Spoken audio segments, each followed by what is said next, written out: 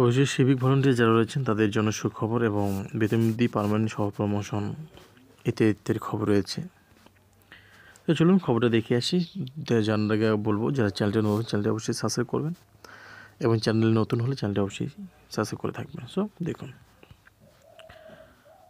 তো civic volunteer যারা রয়েছেন, তাদের বেতনবৃদ্ধির সাথে স্থায়ীকরণ সিভিক ভলেন্টিয়ারের জন্য সুখবর, সম্প্রতি কলকাতা হাইকোর্টের তরফে রাজ্যের বিভিন্ন ভলেন্টিয়ারদের কাজকর্ম সম্বন্ধে বিস্তৃত জানতে চাওয়া হয়।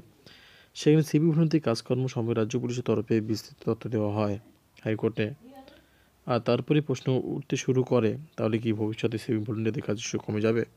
তাহলে কি কোনো সমস্যার সম্মুখীন হতে হবে? এবার সেই বিষয়ে খোলসা করলে মুখ্যমন্ত্রী মমতা বন্দ্যোপাধ্যায়। স্পষ্টভাবে জানিয়ে দিলেন সিভিক ভলেন্টিয়ারদের কাজের ক্ষেত্রে কোনো ঘাটতি হবে না। নিয়ম অনুযায়ী প্রতিটি সিভিক ভলেন্টিয়ার এর পদোন্নতি সুযোগ দেওয়া হবে।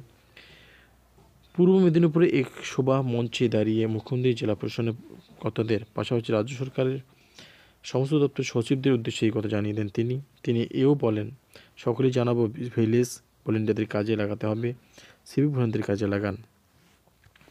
সম্প্রতি বাঁকুড়া সিভিক ভলেন্টিয়ারদের একটি প্রাথমিক স্কুলে পৌরদের পড়ানো প্রাথমিক প্রশাসনিক নির্দেশকে ঘিরে রাজ্য তোলপা শুরু হয়।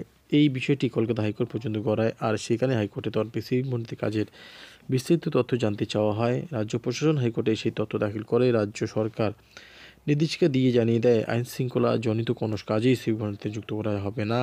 শুধুমাত্র ট্রাফিক সামলানো এবং পার্কিং নিয়ন্ত্রণের মতো কাজেই সিভিক সিভিক ভলেন্টিয়াররা যুক্ত থাকতে পারবে।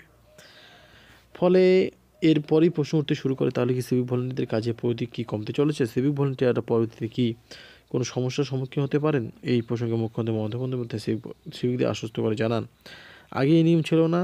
কোনো সিভিক ভলেন্টিয়ার মারা গেলে তার পরিবারে কেউ চাকরি পাবে, সেটা আমরা করে দিয়েছি। সকলেই জন্যই করা হয়েছে। পাশাপাশি মমতা বন্দ্যোপাধ্যায় সিভিক ভলেন্টিয়ারদের উদ্দেশ্যে আশা দিয়ে বলেন, সিভিক ভাই বোনেরা আগামী দিনে ধীরে ধীরে তোমাদের অনুন্নতি হবে। তোমাদের একটা কোটা করে দেওয়া হয়েছে। প্রতি বছর সিভিক ভলেন্টিয়ার থেকে কনস্টেবল করা হবে, পার্মানেন্ট এবং প্রমোশন হবে। সামনে পর্যন্ত আর তার আগে সিভিং ভলেন্টিয়ারদের প্রসঙ্গে মন্তব্য খুশি এবং যথারীতি বিরোধী দলগুলি রাজনৈতিক বক্তব্য পেশ করতে শুরু করেছে।